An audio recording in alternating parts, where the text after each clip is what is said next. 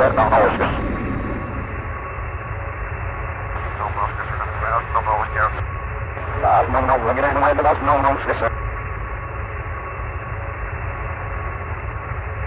Yeah, mate, son, no worries, no worries. This fault, yes, sir.